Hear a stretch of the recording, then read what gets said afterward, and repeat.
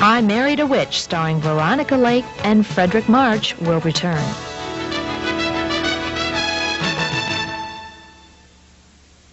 Look what you can do with just one hour. You can take your favorite celebrity out of the limelight and let them share their personal side. You can make a change for the better, or a change just for the fun of it. You can celebrate a victory, discover what's important to your friends and neighbors, or just relax and let the hour take its course. Where can you do so much in just one hour? Only one place, Hour Magazine. I'm Gary Collins. Join me for the liveliest hour of your day on Hour Magazine, weekday mornings at 9, right here on TV8. I'm curious. I want to know all there is to have to know.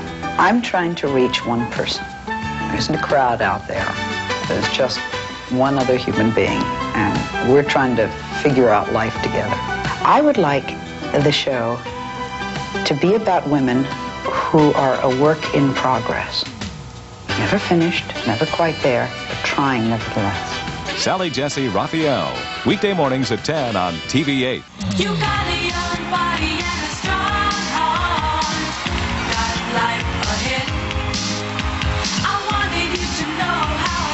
Smart. Don't start you. drinking. That's why I said, be smart. Don't start drinking. Hurts. You wanna be smart. Don't start. Be smart. Don't start. You never know what to expect from adopted children. After all, this one became president. And these adopted kids skated to the Olympics. And this one went far in education.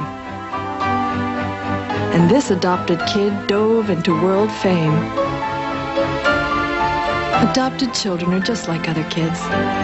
They're kids with great expectations.